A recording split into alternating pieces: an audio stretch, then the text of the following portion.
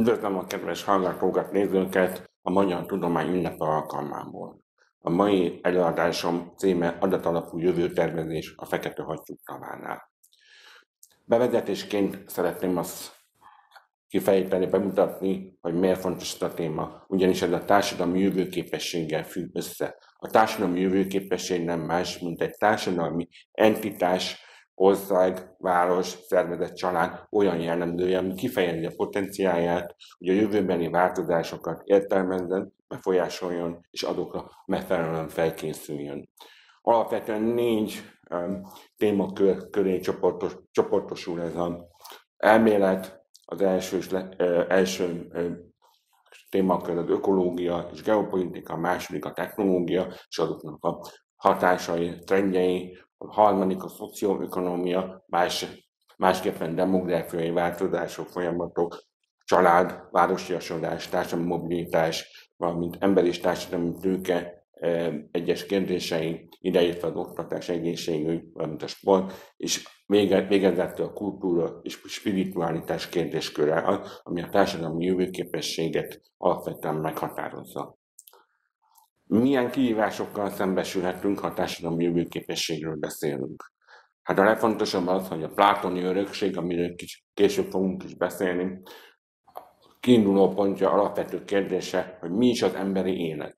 Ezen túlmenően az intézményeknek milyen szerepei vannak. A vallás, kultúra, identitás területein, milyen olyan kiválasztási mechanizmusok, kik a kulcs szereplők, ideértve a demokrácia tekintetében is. Nézzük, hogy a szabadság és a kooperáció viszonya hogyan néz ki a társadalmi jövőképesség kapcsán is. Ezek a kérdések alapvetően azért fontosak, mert kapcsolatban vannak azokkal a kérdésekkel, milyen fogalomtérképpel rendelkezünk, milyen attribútumokkal dolgozunk, operálunk, vagyis hogy a kötődés és a felelősségvállalás, mint egyén és társadalmi érték milyen szereppel bír. És, és végezetül, hogy milyen narratívákkal, adott esetben elhallgatott diskurzusokkal rendelkezünk, és ezek milyen paradigma váltáshoz vezethetnek. Nézzük, hogy ma a következő fél órában milyen blokkokat fogunk érinteni, milyen tematikus blokkokról lesz szó. Az első társadalmi demográfiai előjelzések témaköre lesz, majd beszélni fogunk a gazdasági előrejelzésekről, végezetül a tudományos technológiai előrejelzésekről és az ebből fakadó egyes társadalmi kérdések.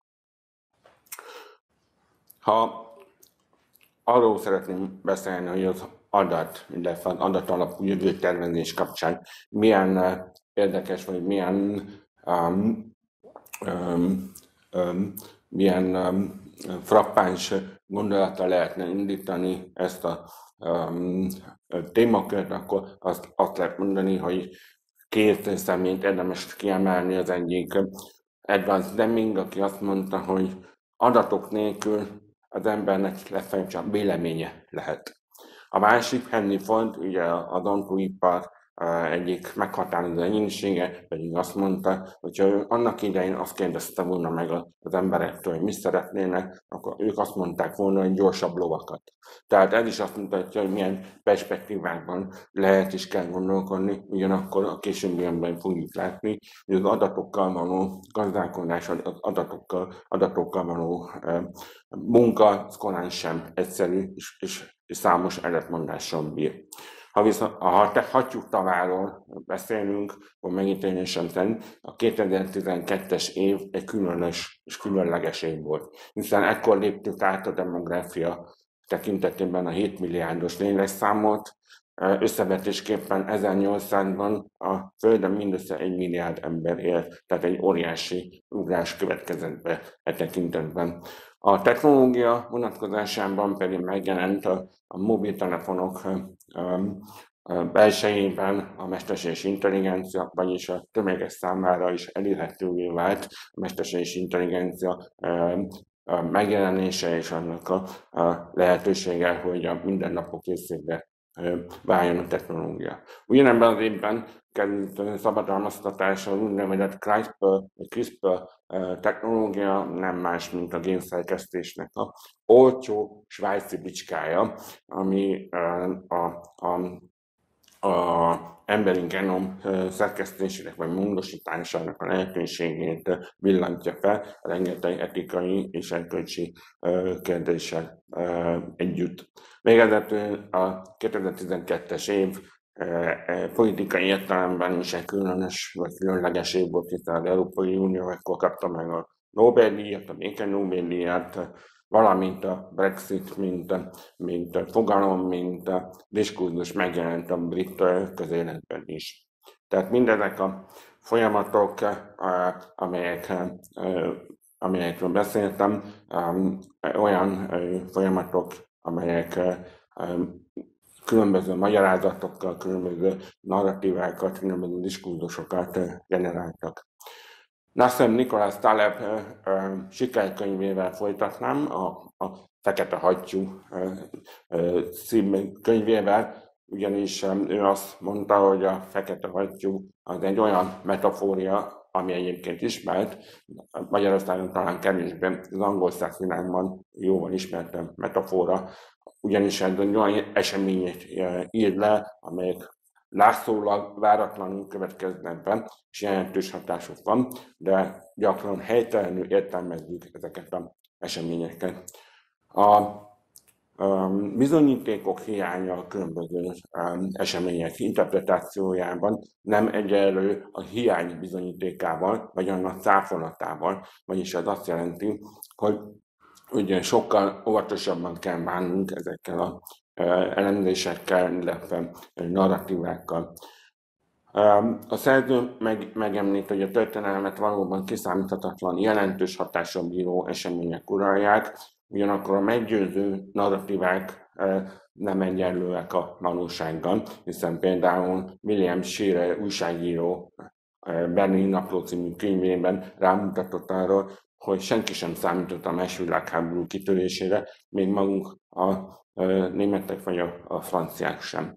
És a szakértők tévesen gondolják azt, hogy a kockázatok egyértelműen kiolvashatók a különböző grafikonokból, görbéből, és visszamutanok itt Plátonra is, aki a modern értem, értelmiség számára egy ikon abban a szempontból, hogy a különböző absztrakt kategóriák is elméletek kapcsán sokkal nagyobb óvatosságra kell, um, óvatossággal kell bánni ezekkel az elméletekkel, hiszen uh, számos esetben valóban nem a megfelelő következtetésekre lehet jutni.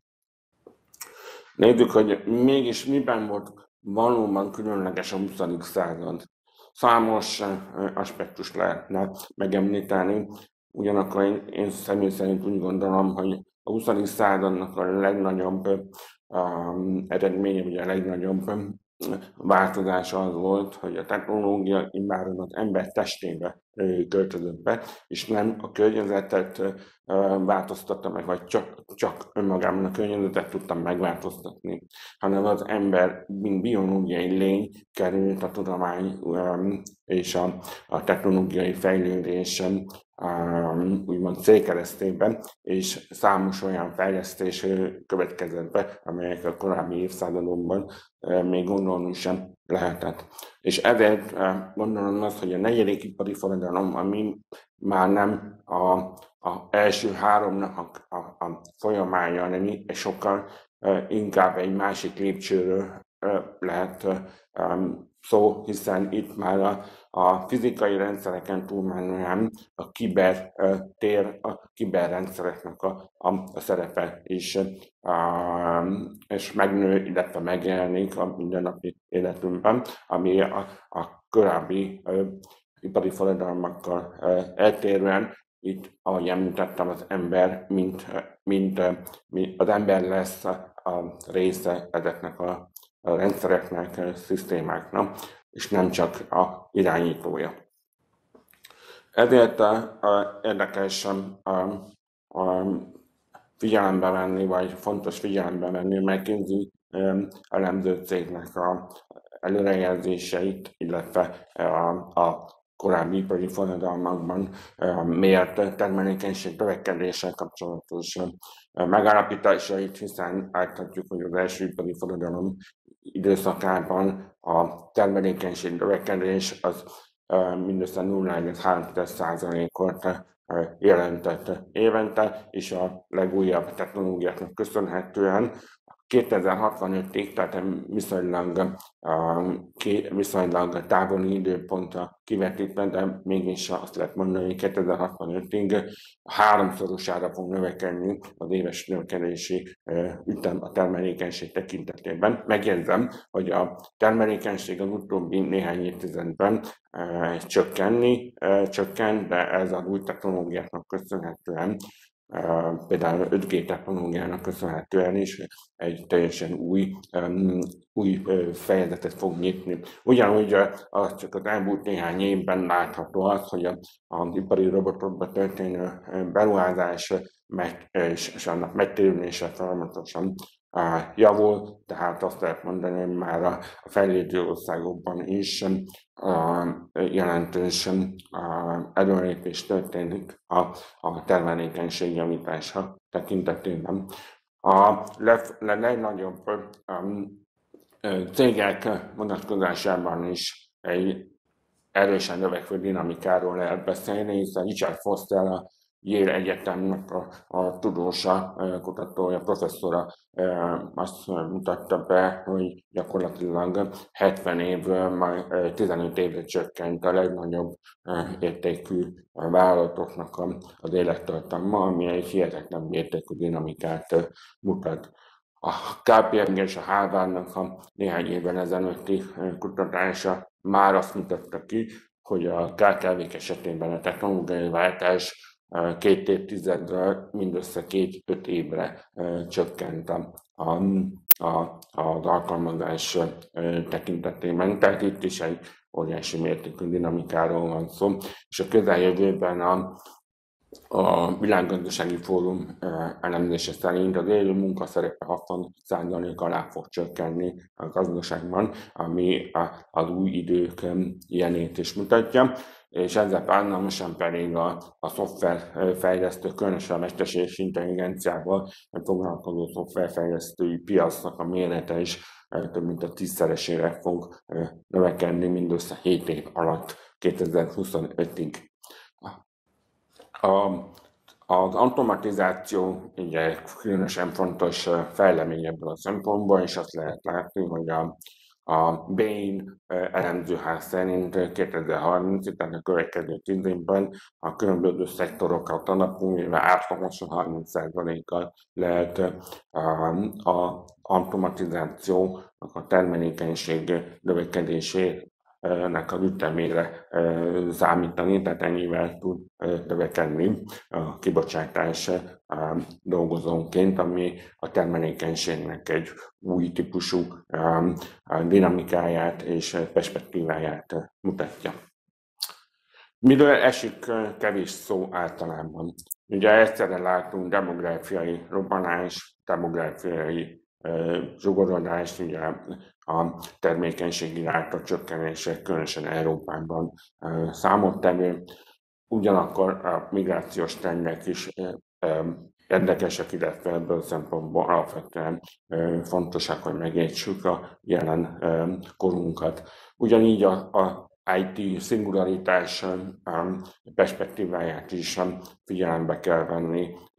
Ugye az integrált államkör mindössze 60 éve van, és a múlt törvényét alapulvéve, valamint a legújabban a kvantumszámítógépekkel kapcsolatos fejlesztések is egy új perspektívát nyitnak meg az emberiség számára. Ugyanúgy, ha már beszéltünk migrációról, akkor kell fog beszélnünk a foglalkoztatás és a mesterséges intelligencia összefüggéséről, amiről nagyon kevés szó esik ugyanúgy, ahogy az adatokkal való rendelkezés az adatvanyag kérdésköre is, hiszen a következő időszakban a, már a háztartások milliárdjai is fognak csatlakozni az internetre, belátható időben az 5G technológia szintén egy óriási ugrás fog jelenteni ezen a téren. Milyen tabuk vannak? Ugye Beszéltünk a CRISPR technológiáról, a génmódosítás génszerkesztésnek a kérdésköre, amely egyre nagyobb és egyre jelentősebb áttöréseket mutat.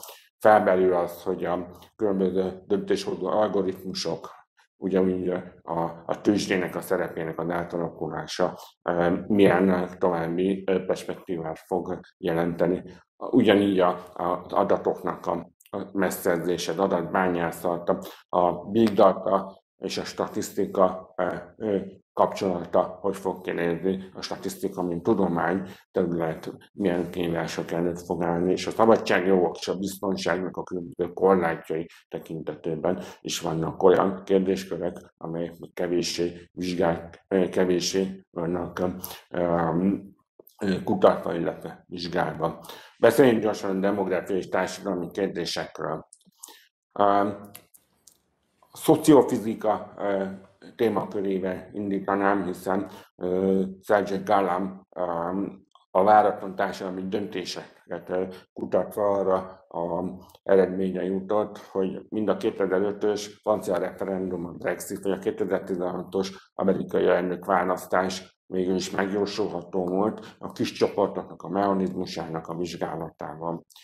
Jan Stewart a kutató, aki a pszichohistória, mint példaképet vizsgálta, ugye Isaac Asimov híres regényfolyam az alapítványnak egy főhőse, vagy legfontosabb karakter a Harry Seldon, aki a, a pszichohistóriának a megalapítója. Érdekes módon egyébként egy, egy belga kutatónak a, a mintájára lett, volt megalkotva, és Jan Stuart azt állítja, vagy úgy gondolja, hogy alapvetően a népsűrűség az, ami a kiindulási pont lehet egy ilyen szociofizikai modellben. Folytatnám a, a Tucson modellel is, hiszen ő tízezer év mintázatait vette alapul, több mint 400 társadalmat, 30 régiót és 50 éves ciklusokat figyelt meg és, és az ő állítása szerint 2000, pontosabban 2010-ben úgy prognosztizálta, hogy 2020 az USA rendszer szintű társadalmi problémákkal fog szembesülni. A kérdés az, hogy egy ciklus vég is egyben, vagy pedig másról van szó. A Hannah Fry a korábbi témához vissza kapcsolódva azt mondja, hogy a statisztika, mint módszertan felülvizsgálata elkerülhetetlen lesz, hiszen a közösség meghatározása statisztikai adatokkal nem egyenlő az egyes emberek tulajdonságainak összességében, és a kimutatható összefüggések nem a valóságot, azaz nem létező jelenségeket, tulajdonságokat is kimutathatnak. És a big data ezt a, ezt a jelenséget nagy mértékben um, befolyásolni fogja, vagy ezt a módszert a nagy mértékben befolyásolni fogja, hiszen a számosság az adat mennyiségnek a hatányozódásával sokkal pontosabb uh, mintázatokat uh, lehet kialakítani. Ugyanakkor vigyáznunk kell Margaret Heffernan szerint a rögesztmés attitűdökkel, hiszen az előrejelzések sokszor abszolút számszerűsítésekkel operálnak a, a, a kutatók, és a, sokszor pedig a valószínűség helyett kinyilatkoztatás és általánosítás látható ezekben az elemzésekben. A társadalomtudomány és az adattudomány szoros együttműködésére egyre nagyobb szükség van, mondja Karl Pábo, az Amerikai Tudományos Akadémia főtitkára, hiszen azt mondja, hogy az új technológiák rendszer szintű kihívásokat hoznak, új, már csak azért is, mert egyre inkább átláthatatlan komplexitású társadalmakban élünk, és egyre és ezzel egyre bonyolultabb szabályozási szükségletekre, szabályozási szükségletre is jelenik meg. Daniel Steinman Jenkins szerint szemben Francis Fukuyamával a, a történet nem ért véget. Ugyanakkor a jelenkor eseményeit nem lehet a múlt történéseivel magyarázni, mert ezek félre viszik a, a következtetéseket, és ez a által prezentizmusnak nevezett módszer valójában hibás, és szerinte, eset, szerinte új történész képzésre is szükség van. Az új technológiák ugyanakkor kockázatokat is jelentenek a társadalmi folyamatok jobb megértése szerint. Miért? Azért, mert a technológiának a, a alkalmazása egy kétélű kard, egy kétélű fegyver, ugyanis a társadalmi szerződés felrúgását is jelentheti, hiszen például a balesetek számának csökkenése, mint cél, szemben állhat a sofőr kamionvezetők munkahelyeinek a megtartásával. Tehát egy egyensúlyt, egy egészséges és egy óvatos egyensúly megtartására ugyanúgy szükség van. A a politikon megjelent érdekes elemzés alapján Spielkamp és Kezdel Brill szerint a cégek által megfelelőnek tartott világnézeti vagy politikai irányvonalak mentén is képesek ma már, a, a, ma már vizsgálni a munkavállalókat, amelyek a szinten a társadalmi szerződésnek egy bizonyos fokú konfliktusát jelentheti. Ha pedig a szociális médiáról, médiáról beszélünk, akkor David Johnson szerint nagyon fontos azt látnunk, hogy a, a egyes platformok jelentősen felerősítik az emberekben alkalmatlanság érzetét, valamint az önbizalom hiányt, és ezért is fontos, hogy a való életben működő közösségek azok, akik igazán tudják minimalizálni a tagok között meglévő különböző egyenlőtlenségeket, és ezáltal jól létet tudják jobban biztosítani. Chris Conrad Forbes-től úgy látja, hogy az Egyesült Államokban döntéshozók statisztikai életértékét is és meghatározzák, ami a jövő tervezéssel kapcsolatos, vagy a jövőképességgel kapcsolatos um, um, folyamatnak az egyik um, eleme, ugyanakkor fontos az, hogy ezekkel a számokkal, ezekkel az értékekkel hogyan bánunk milyen típusú következtetéseket vonunk le. Francis Fukuyama azt mondja, hogy az államoknak be kell avatkozniuk az információs technológiai piac működésében, hiszen ahogy az előbb is említettem, a kutatók megállapították, hogy, hogy például a közösségi média felületeken szűrik ki, szelektálják a megjelenő, megjelenő információkat, magunk állítanak fel szempont és kritérium rendszereken. Tehát ez azt is jelenti, hogy újabb kihívások előtt áll a, mind a közösségi média, mind pedig a demokráciának a, a, a gyakorlása, működtetése, működtetése is. A technológiának a társadalom politikai vagy a társadalom demográfiai előrejelzését illetően fontos látnunk, hogy újabb eredmények vannak, hiszen például az Imperial College London kutatói kifejlesztettek olyan algoritmust, ami képes utcaképekből felismerni az egyenlőtlenségek jeleneit. Ez állításuk szerint hatékonyabb, mint a statisztikai adatterméte, hiszen gyakrabban frissülnek, mint a különböző felmérések és nőtszámlálási adatok. Joshua Haugigo az Evidence-Based Investigation Tool alapján azt állítja, hogy a nyomozati cselekmények is jelentős mértékben fejleszthetőek, a különböző bűncselekmények, a meg, bűncselekményeknek a megoldhatóságunk valószínűsége alapján jelentős mértékben javítható a nyomozásnak a hatékonysága is, hiszen a korábban az esetek 75%-ában az emberi, emberi rendőrök döntöttek úgy, hogy nyomozást érdemes elindítani, addig a szoftver alkalmazásában ez az arány 40%-ra lecsökkent, úgy, hogy a vádemelések és a szankcióknak a száma nem változott. Karen Howe a MIT Technology Review-tól a büntető eljárásban rejlő potenciálokat ugye, kiemelve 60-70%-os pontossággal használhatók ezek az előrejelzések.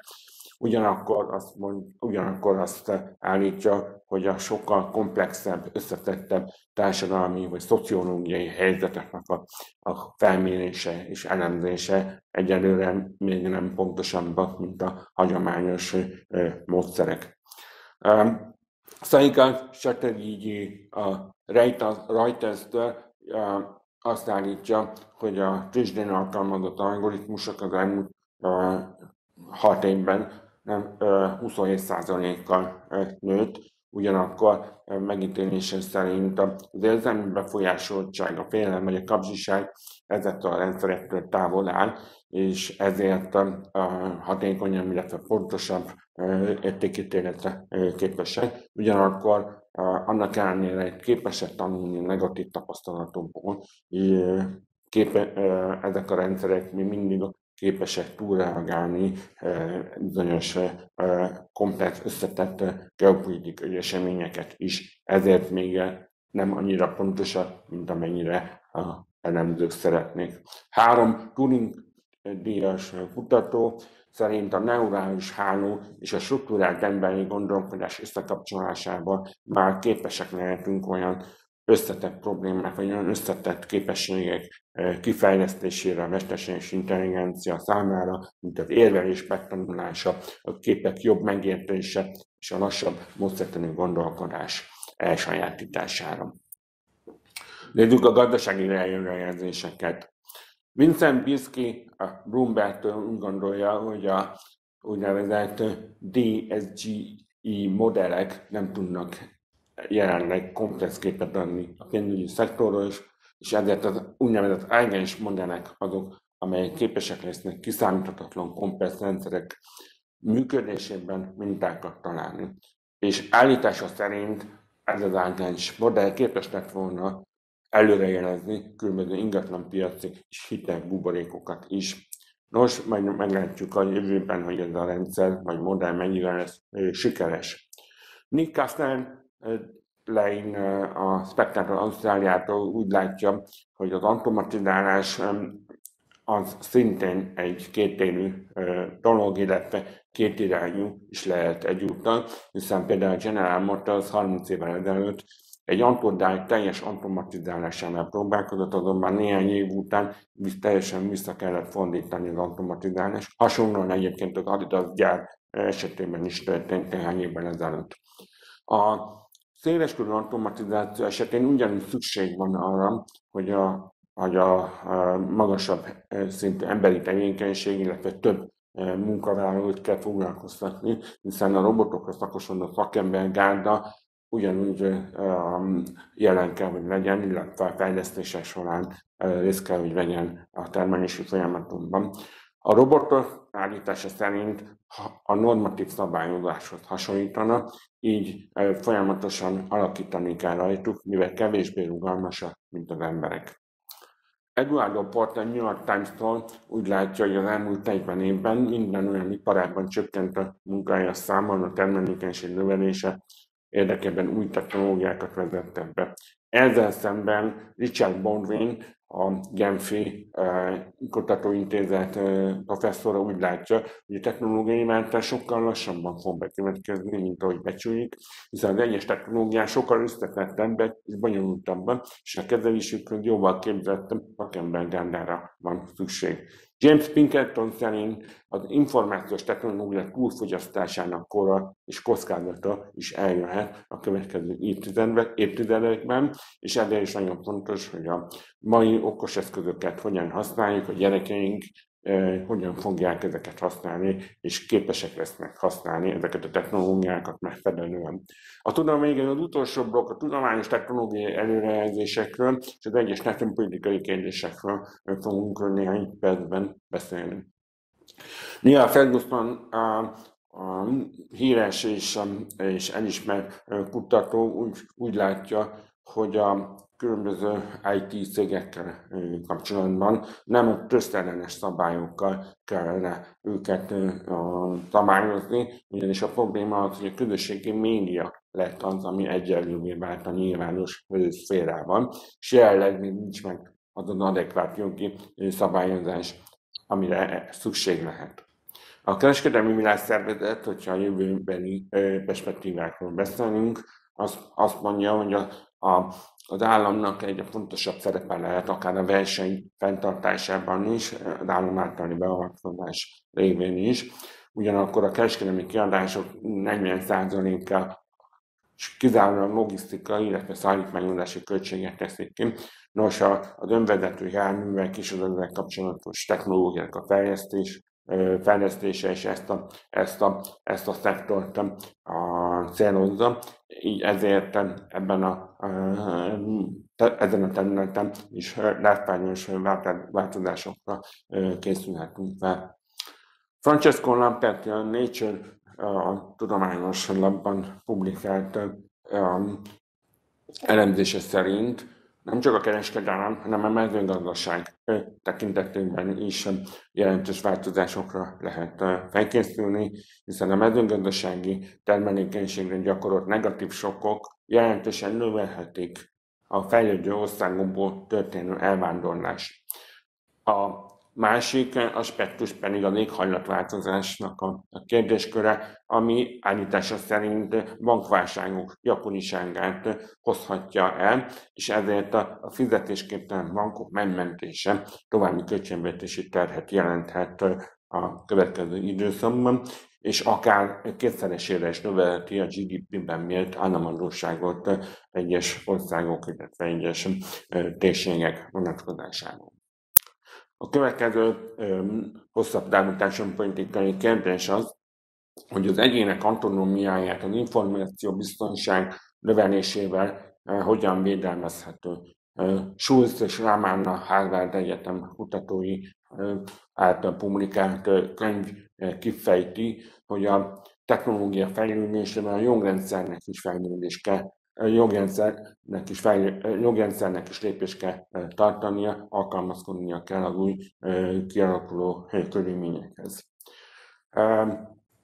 A Journal Law and Political Economy megjelent elemzésünk, elemzésükben Falken Gordon szerint az államnak meg kell tanulnia a polgáros személyével tekinteni a problémákra, és a fő kérdés az, hogy hogyan lehet úgy alkalmazni a technológiákat, hogy azok minden jobban és igazságosabban szolgálják a közösséget. Tehát minden meg fog változni.